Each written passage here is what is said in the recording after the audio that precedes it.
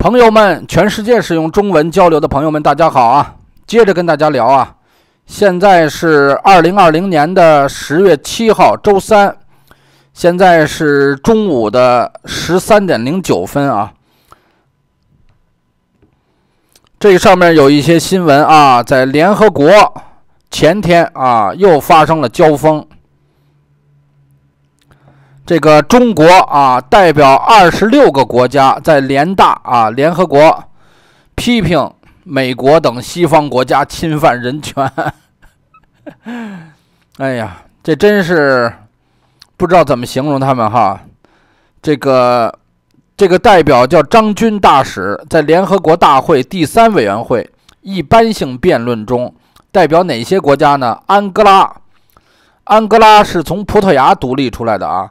当年安哥拉打内战，这个美国支持一方，苏联支持一方，中国明显的国力不如美苏，中国也让中国老百姓饿肚子，毛泽东也支持了一方，好像叫多斯桑托斯啊，这都是葡萄牙语的名字，分了叫安联吧，什么安哥拉解放什么人民阵线之类的啊，联盟。安哥拉呃，首都叫罗安达啊，挨着大西洋，呃，境内沙漠比较多。安哥拉在北部有一个飞地，叫黑角，应该是在这个刚果河的入海口的地方。这个中间隔着扎伊尔或者叫民主刚果吧。还代表谁了呢？安哥拉一个，安提瓜和巴布达，很多人都没听说过。安提瓜和巴布达在西印度群岛。在这个北美洲和南美洲之间吧，中美洲的东侧，加勒比海里边，白俄罗斯，白俄罗斯肯定是吧，是支持中国的，因为白俄罗斯自己的独裁的问题，卢卡申科掌权了二十六年，死活不下台，对吧？他带来中国那个小儿子是他的私生子，第三个儿子。我们这个西班牙就有一些白俄罗斯人。他们特别讨厌卢卡申科，也是看不惯独裁的体制，从白俄罗斯逃出来的。西班牙讲俄语的人非常多，啊，俄罗斯的、白俄罗斯的、拉脱维亚的、乌克兰的非常多。其实跟很多中国人一样，也是不满独裁体制，从中国实际上是逃出来的。这些从前苏联也是逃出来的。还有布隆迪啊，布隆迪是个小国家啊。布隆迪、卢旺达、乌干达挨在一块儿啊。这个柬埔寨，哎呀，柬埔寨是东盟国家里边唯一支持中国的。如果不是中国一给就两三亿、两三亿的给，柬埔寨早就不支不支持中国了。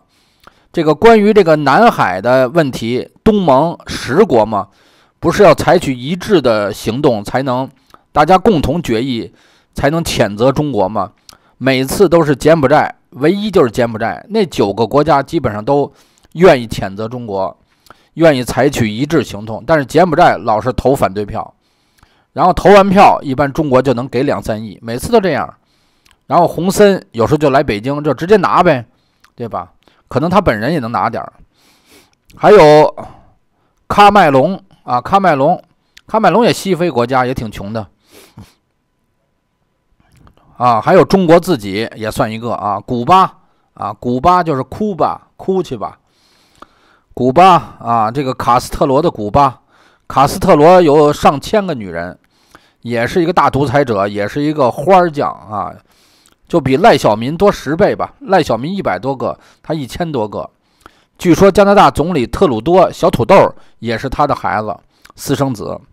朝鲜啊，朝鲜金三胖的国家。那个是叫北朝鲜啊，有人称中国为西朝鲜。赤道几内亚，赤道几内亚原来可能也是葡萄牙的殖民地。呃，叫几内亚的有三个啊，几内亚、赤道几内亚，简称赤几，还有一个几内亚比绍，都在西非的那个大西洋的几内亚湾的周围啊。俄立特里亚，俄立特里亚首都好像叫阿斯马拉。俄立特里亚是从埃塞俄比亚分裂出来的，分出来的时候跟埃塞俄比亚还打了一仗。它也挨着吉布提，它也是叫非洲之角，战略位置比较重要。伊朗啊，这不用说，对。吧？俄罗斯和中国都是支持伊朗的，不然的话，伊朗的独裁政权可能早就垮了。老挝啊，老挝现在是世界上唯五的唯五的社会主义国家，其实也叫独裁国家。中国、朝鲜、老挝、越南、古巴，现在越南都很大程度上改善了、改变了。啊，有缅甸，对缅甸，中国也是给大量的援助啊。缅甸的昂山素季现在是女皇啊，对吧？之前他是打着民主的旗号，但是他上台之后有些措施，并不是那么民主。纳米比亚，纳米比亚就是在南非的北边，安哥拉的南边。纳米比亚沙漠，呃，纳米布沙漠，纳米比亚的沙漠里都有中国福建人开的超市，然后都被当地人抢劫过。还有圣文森特和格林纳丁斯。也是西印度群岛，可能也就几百平方公里、几十万人口的小国。南苏丹是从苏丹分裂出来的黑人国家，一直在打内战，不同的部落部族之间在打内战。苏丹，苏丹的人权问题很严重，苏丹的阿拉伯民兵和政府军杀了很多黑人。苏里南啊，苏丹首都叫喀土穆，还有苏里南。苏里南好像过去是法国的殖民地吧，还是荷兰的呀？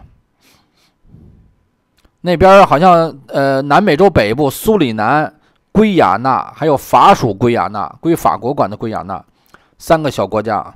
叙利亚，叙利亚别说了，叙利亚的政府现在连国家的三分之一都控制不了，只有首都大马士革周围那一片由政府军控制，就是巴沙尔·阿萨德嘛。委内瑞拉，这委内瑞拉也是靠着中国，靠着俄罗斯，对吧？中国在委内瑞拉投资了可能几千亿，不知道拿回来没有？可能是拿石油换吧。委内瑞拉现在超市里边的肉，连那个足够的电力制冷，连冰箱冰柜都没有，特别穷，药缺医少药，缺吃缺吃少穿呀。现在的总统马杜罗就是原来的总统那个去世那个叫查韦斯。原来是他的专车司机，后来给扶植起来的。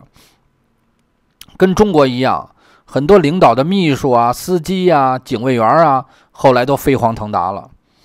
邓小平的警卫员张保忠还给了个中将军衔呢吧？然后他的大秘书那个谁，王瑞林都是上将。邓小平的邓办的，我们同学就是邓办的，邓办的一个工作人员。嗯。然后那个现在反对马杜罗的那个反对派叫什么来着？那哥们儿也也是仨字儿，不是马杜罗，叫什么？现在忘了他名字。瓜伊多，对，瓜伊多，瓜伊多的他的一个身边的重要支持者的侄子就在西班牙，在西班牙读一个私立高中。嗯，还有津巴布韦啊，津巴布韦穆加贝九十多了，死没死啊？老头儿可能死了，也是个大独裁者。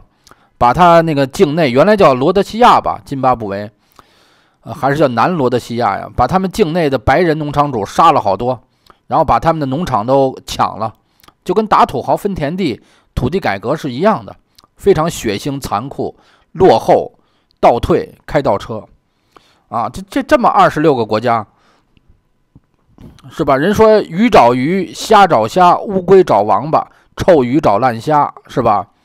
这个谈笑有鸿儒，往来无白丁。